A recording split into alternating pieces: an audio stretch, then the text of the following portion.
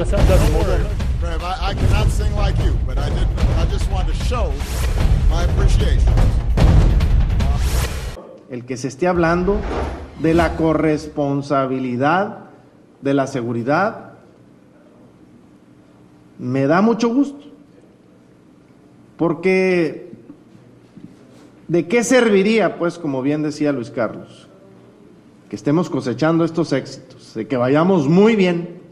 Que estemos trabajando de la mano federación, estado, municipio, junto con la sociedad civil, asumiendo nuestra responsabilidad, por ejemplo, en el caso de nosotros, de ser un gobierno facilitador para que les vaya bien. Pero ¿de qué nos sirve si no tenemos la seguridad para nuestras familias?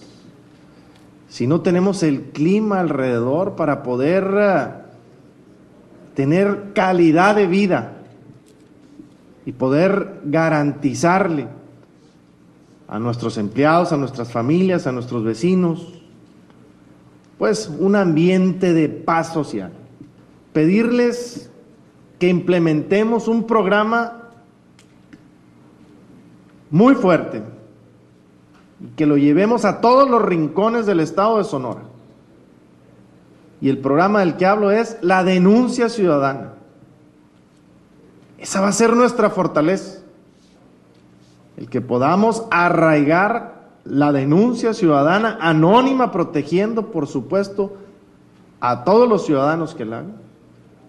Pero eso nos va a dar un alto valor para que nuestras corporaciones puedan responder con éxito.